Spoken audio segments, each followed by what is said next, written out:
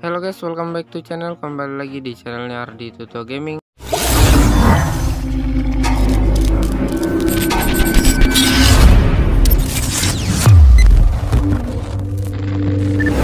Oke guys, di video kali ini gue akan ngasih tau kalian gimana cara mengatasi tidak bisa melihat emot teman ataupun emot musuh pada saat lagi di dalam game ya. Pada saat lagi di lobby kalian masih bisa lihat emot teman kalian nih, teman gue lagi emot-emotan masih bisa gue lihat ya.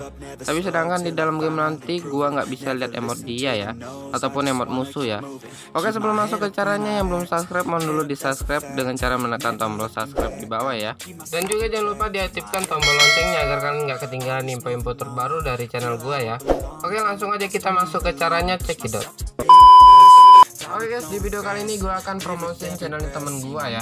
Di sini kalian langsung aja cari nama channelnya itu adalah JK Gaming ya.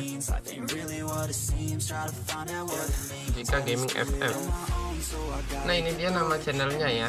Channelnya langsung aja kalian lihat ini kalian bisa saksikan sendiri video-videonya di sini ya. Ada beberapa video yang menarik dan juga bisa menghibur kalian ya. Oke langsung aja kalian klik subscribe. Oke untuk mengatasi tidak bisa ngeliat emot musuh ataupun emot temen pada saat lagi di dalam game itu ternyata penyebabnya itu ada di settingan Free Fire kalian ya. Jadi kalian buka aja itu pengaturan Free Fire kalian. Lalu kalian di sini yang nggak bisa ngeliat emot musuh ataupun emot teman tuh pasti kalian gunakan grafik yang semut ya jadi grafik ini tuh mempengaruhi beberapa penglihatan kalian gitu kan.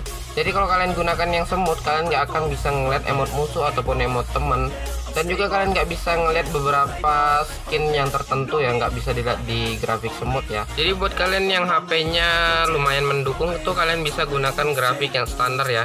Tapi buat kalian yang nggak HP-nya nggak mendukung kalau kalian gunain standar atau ultra HP-nya ngelak-ngelak atau patah-patah kalian bisa gunakan yang semut ya. Jadi di sini gue akan coba gunain grafik semut pada saat lagi di dalam game ya apa kelihatan atau enggak emot temen gua ya. Oke di sini gua akan langsung masuk aja di dalam gamenya. Oke nah di sini kalian bisa lihat di, sendiri ya di sebelah kiri itu adalah HP dari teman gua ya layar dari teman gua dan di sebelah kanan itu dari HP gua ya. Dan kalian bisa lihat sendiri di HP gua itu nggak kelihatan sama sekali emotnya ya sedangkan di itu di HP temen gua lagi emot-emotan tapi di layar gua nggak bisa kelihatan karena gua tadi gunain grafik yang semut ya. Jadi buat kalian yang gunakan grafik semut kalian nggak akan bisa ngeliat emot teman kalian atau musuh pada saat lagi di dalam game.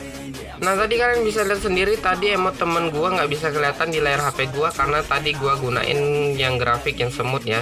Jadi kalian bisa ganti grafiknya jadi standar ataupun di atas standar ya jadi buat kalian yang mau ngeliat emot teman kalian ataupun emot musuh pada saat lagi di dalam game kalian bisa ganti grafiknya jadi grafik standar ataupun grafik ultra.